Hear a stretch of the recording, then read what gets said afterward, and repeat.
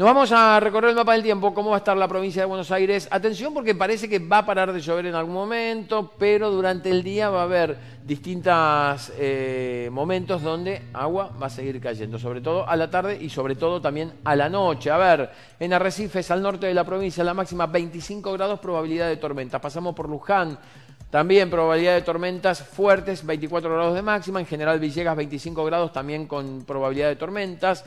Por lo menos lluvias va a haber.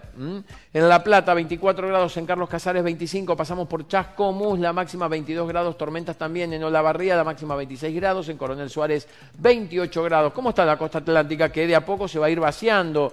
Último fin de semana largo. Gran movimiento de gente. Hay que decir y recordar una cosa. El movimiento de gente se da porque se ha adoptado una nueva manera de irse de vacaciones, ¿eh? más de fin de semana. Mucha gente aprovechó estos cuatro días, se está aprovechando, queda hasta mañana, eh, irse de vacaciones a disfrutar de mm, periodos cortos de días de descanso. En Pinamar la máxima 23, en Mar del Plata la máxima 23, en Necochea 25 grados de temperatura máxima, tormentas durante el día. En Tandil, un lugar fantástico para recorrer, 25 grados de temperatura máxima, pasamos por Sierra de la Ventana donde no hay lluvias pronosticadas, 27 grados de máxima y en Bahía Blanca la máxima 28 grados. Bueno, es carnaval.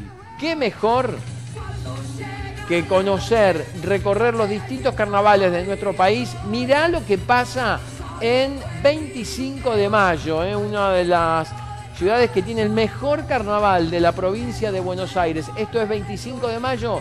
Dejamos ¿eh? mirando un poquito de este ritmo y color. Le mando un beso grande a Norma ¿eh? de 25 de mayo que siempre nos mira. Bueno, esto es lo que pasa en su ciudad. Un lugar muy lindo para ir en carnaval en cualquier parte del año, pero para desarrollarlo en estas fechas tan lindas.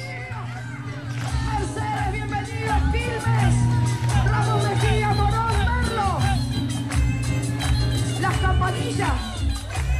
Capital.